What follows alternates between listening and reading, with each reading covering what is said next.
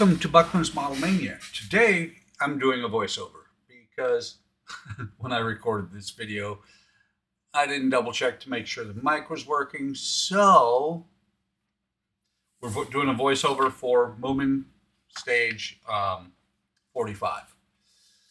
First thing I'm, you know, like normal, I opened the book, but the first thing I did was I showed the chair from, I believe it was stage 44 it is now painted, and I actually used the same color as I did on the uh, Eagle One. It's heirloom antique or something like that, rattle can paint. But I was pretty impressed with it. So here we've got the parts, and I'm getting the parts out, and what we've got is it, it's all the parts for the, uh, or it's more parts for the front veranda more railing parts, and then there's the backrest backrest details for the chair, the next chair. So it's been a few days since I did this video, so I'm just gonna watch and talk about it as we go along. And those parts I just pulled out are all for the chair. For the second chair, I believe, believe it's the rocking chair is going to be identical to the first one. We got the two railings.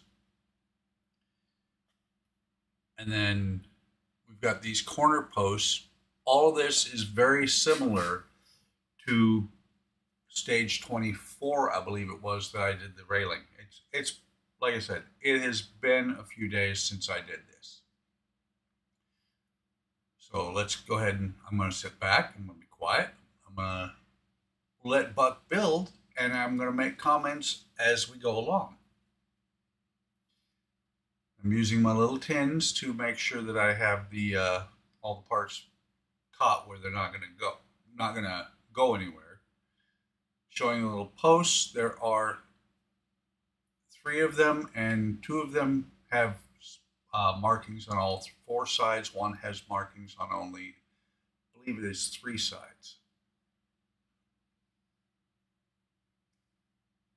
and I'm making sure that they're all the same as the first set were, make so that the detail pieces that I'm about to cut loose are all going to be about the same as they are for the uh, other railing.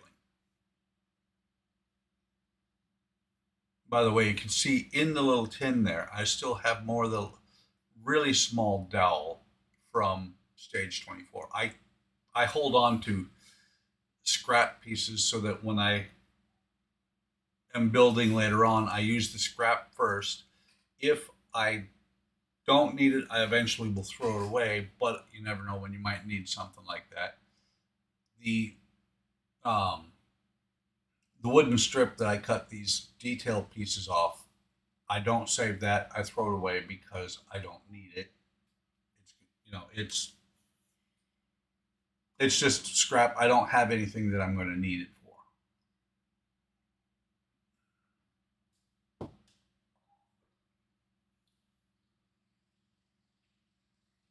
So now I believe I went back and sanded all of these.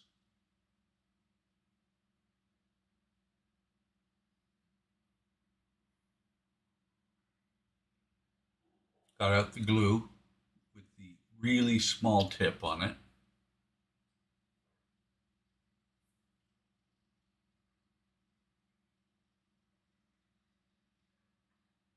I'm comparing the uh, posts make sure that I have them oriented the same way because there is a slight difference between the uh, top and bottom on these.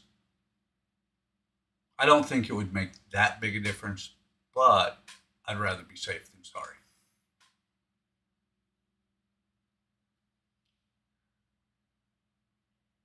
And since there there is a guiding mark on there, but I I mess with these quite a bit to get them lined up.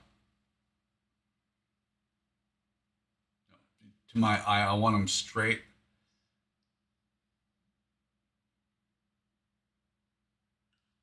And then you'll see here where I'm doing the uh, detail parts on the front. I'm going around from one, you know, front to back, doing um, sides next to each other. I believe as I go further in, I stop doing that and I do them across from each other just so that I can hold the piece by the uh, sides there and uh, you know kind of keep them uh, pressed together. You'll see I did just put that one down because what I'm doing is letting those two set up a little bit. And I use, I'm using a, a white glue. I need to get some uh, some yellow wood glue except for the fact that I've, I've been working on some wooden projects with yellow wood glue and the problem with the yellow wood glue is it leaves a yellow residue if it's outside of the uh, glued area. And especially on like this white that would show really really badly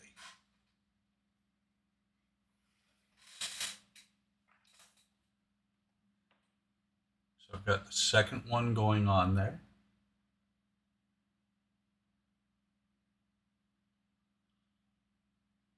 set that one down. And we'll go back to the and do the third one. This is this was actually before I did it. Took a complete day off and just cleaned the shop. The shop is much cleaner than it has been in a while. It's one of these things. Uh, I get to building, I don't put things away. I leave them out because the, I leave them handy, and then the shop ends up being a complete and total disaster area, and I don't feel like building anything because of that. But I have been getting back into wooden models a little bit. So because of that, I'm kind of getting my mojo back. I've, I kind of lost it on part works over the last year or so, just because all the shipping problems. So I'm moving away from part works. I'm moving back towards wooden models. The Moomin House and the Alien and the uh, Disney Dollhouse are going to be exceptions because I have enough parts to keep going on them for you know I the Alien and the Disney Dollhouse I have the full um, the full build I just need to put it together. Also, at the time I did this video, I did not have the uh, Eiffel Tower from IXO, so that will be coming to the channel here soon. it'll go into the lineup and uh, hopefully it'll go together well. So we're going to continue on with putting these on. I think actually when I, let's see, I can't see through my hands how many slats I've got left, but I think, yeah, I, I just did the uh, first one is completely done. And one of the reasons I, one of the things I did when I started doing the um, opposite sides, I think I did that on this. Uh, I don't know for sure. I don't remember for sure, but I started doing opposite sides so that when I sat it down, it wouldn't be sitting on the side that has a uh, detail piece on. It.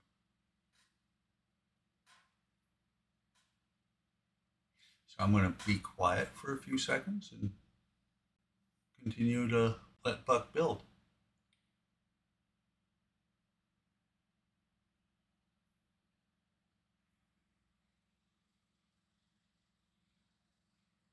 Although I do have to say, I really hate dead airspace in my videos.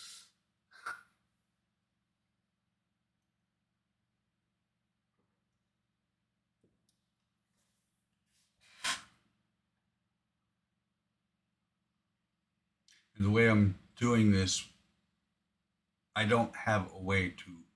I, I need to figure out a way to do these voiceovers if I have to do them, so that I can fast forward the video a little bit. Right now, I'm actually it's running in OBS and recording from OBS at the same time, so I kind of am stuck with how fast the video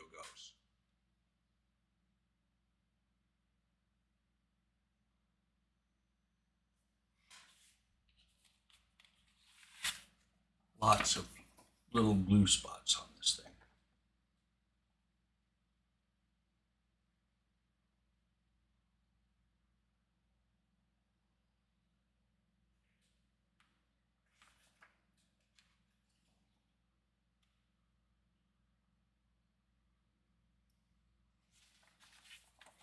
I was just looking at the instructions for issue 26 because I had the same problem with stage 26.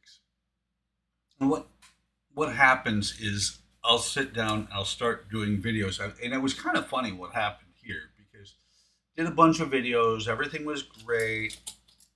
I went, did something, and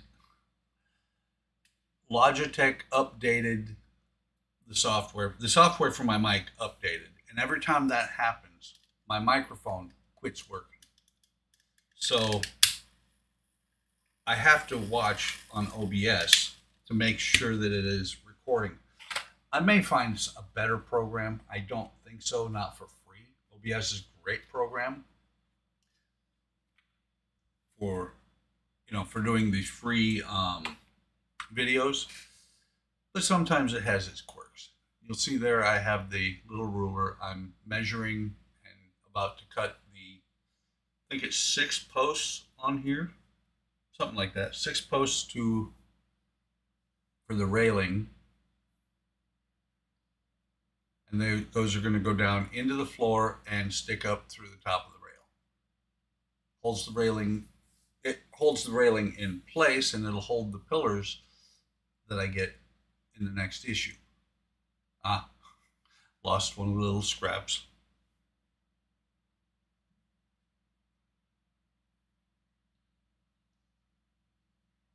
I'm using my chisel blade, which reminds me, I've, I noticed here recently, my chisel blade needs to be replaced.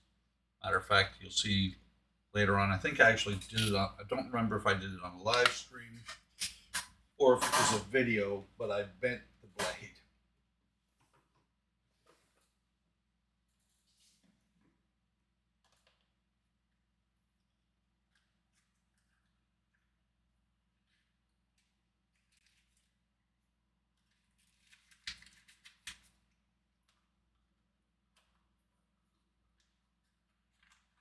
Continuing to use that same blade.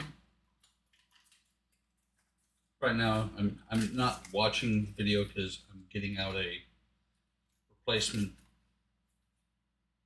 number 17 blade and replacing it in my X-Acto knife.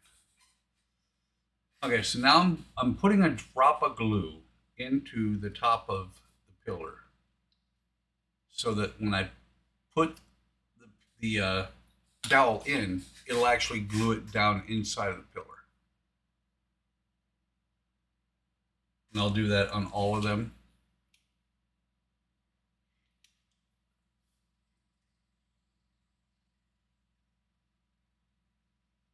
And all it is is just a little drop of glue. And I think I just pointed out that those ones stick out through the top. And I'm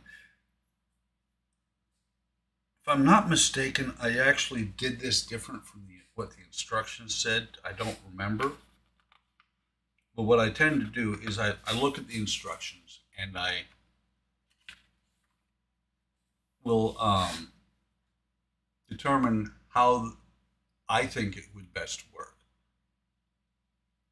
So there's two of them. Here we're going to do the third one.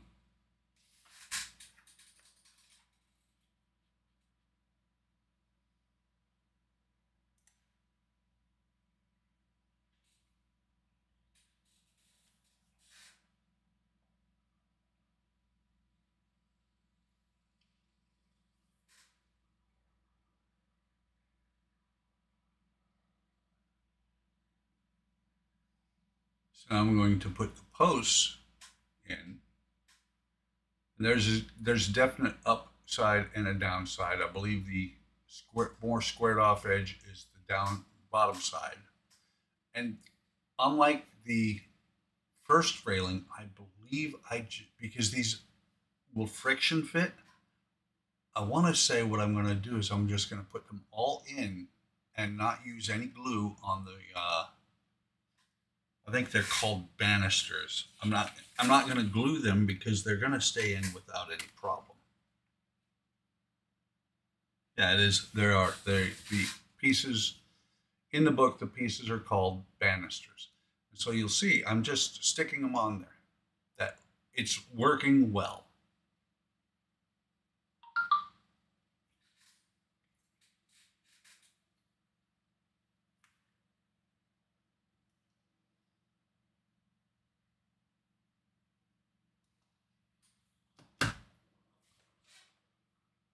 Okay, so I have all the banisters in place. I'm going to apply some glue around the hole there, around the spots where the posts go.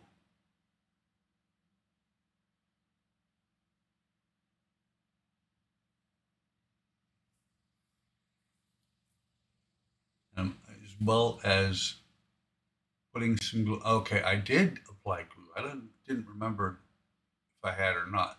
So I'm applying glue just across the bottoms of these. It's twofold. What it's going to do is it's going to keep the banisters in place. And it's also going to glue it down to the top of the uh, veranda. This is where it gets interesting because kind of on the fly here. So we got the post down through there. Now we're going to put the post into the hole and the railing is able to sit there and move back and forth right now. I'm trying to keep it from getting down, going all the way down while I do this so that I don't end up with glue all over the veranda floor. Actually, I think I got that in there. It looks like I got that in there the first time, right off the bat. This one in here. Line it up, play with it a little bit. Push it down, get all of these pushed down, and the next thing I got to do is put that top rail on. Before I do that, I'm going to put some glue on the posts.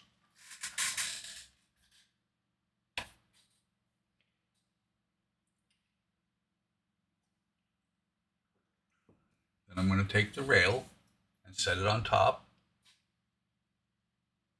And you can see the tops of the posts. And it does say to paint over it with white paint. Or not the tops of the posts, the tops of the banisters. It says to paint over it with white paint. I think it looks fine the way it is.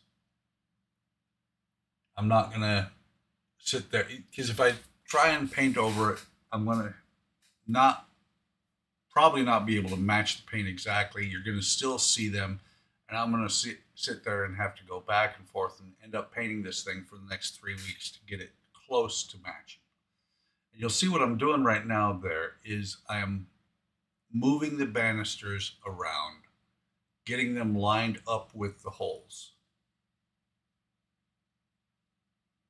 I think that I think I got them all in there because you you're trying to get about a dozen parts in place at the same time. So I see the hammer over there on the left hand side. I don't remember. I I do remember I did use the hammer at one point on these railings to get it to seat and look good, look good, get them all the way down. I don't remember if I did it on this side or not. And you can see there are some, the pins are sticking up through the top. That's where the posts that hold this roof up are going to go. And there we've got the first chair done. That is all the work that is done on the um, veranda. So now we're going to move on to the chair, this the second chair that's out there on the veranda.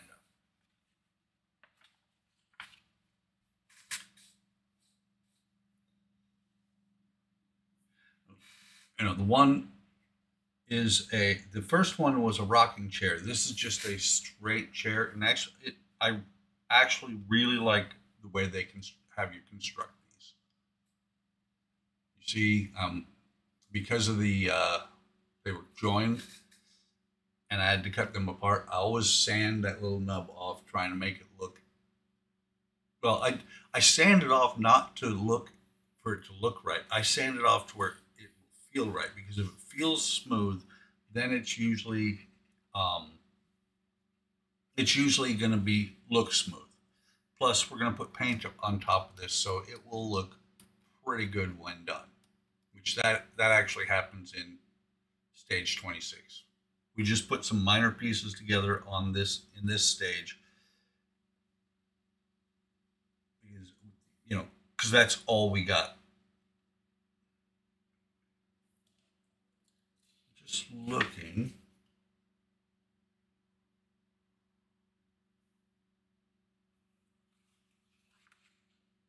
looking in the instructions right now because I see. Okay, I was I was looking at this going, wait, I see more parts than what I think is going together, but no, it, it all works out. So we're going to cut the uh, the backrest details A and B part, A being the uh, larger piece, B being the smaller piece, and then we're going to glue them together so that they match up, giving a really nice effect. Um, a it looks like it was routed, basically. Kind of a nice chair. I'm sanding off the little nubs like I like I do. It is it is nice that they yeah, and, and there's the two pieces, the way they go together.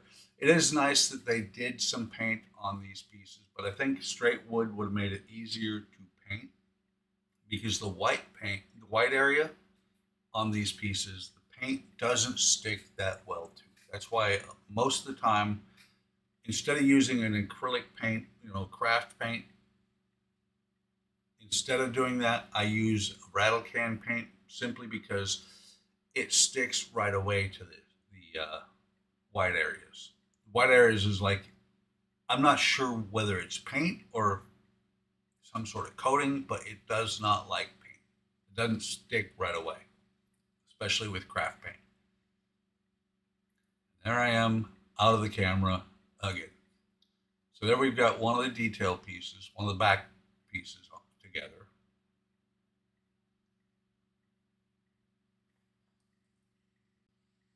We're going to put the other back piece on there, or the two halves together.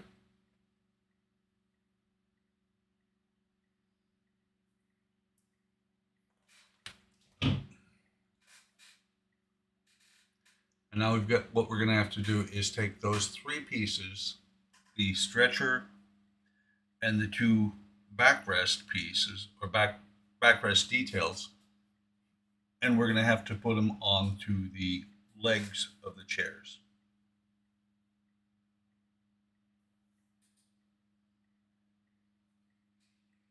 So you see I'm putting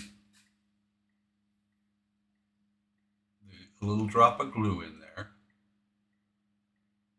this was a little bit interesting to get together because it kind of has no way, you really can't make sure it's really square other than eyeballing it.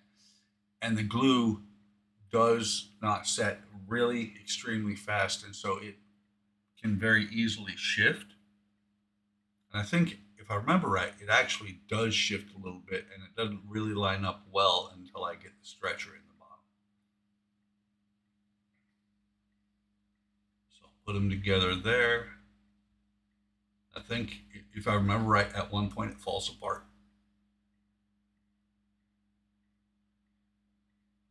Maybe not. Maybe I did get it to go together right the first time. Just saw it. I'm, I'm sitting there messing with it because I can I see it in the camera here a little bit. I've also saw it. I, so I saw it when I was building it that it was not. They were the legs were not parallel, so I had to mess with it to get it straight.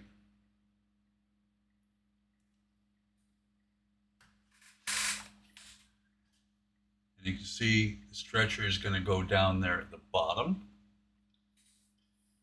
Let's see, 23 minute or 25 minutes now out of a 28 minute video. So I think maybe this does go together without any issue. I seem to remember having issues with this.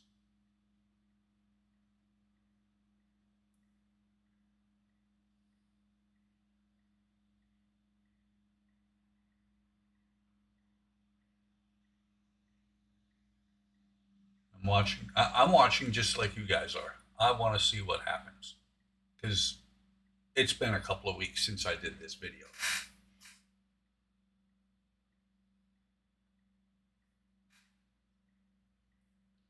Where'd I go?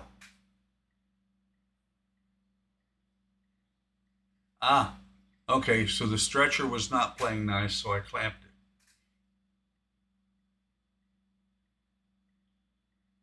Actually, okay, I see now, I remember I put clamps on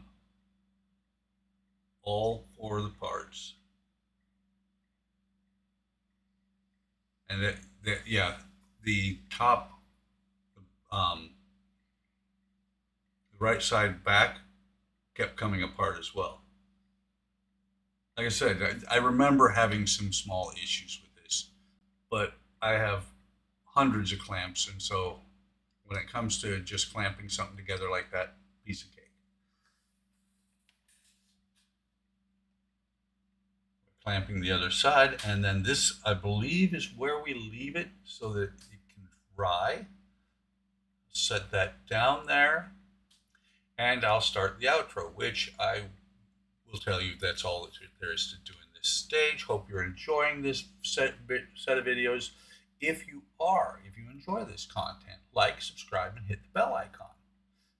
Um, bell icon, subscribe, leave a comment. I love comments, especially when somebody makes a comment three weeks after I post a video or made a video, and I don't remember what I said. So I actually have to go back and look at my videos to see what I said in them.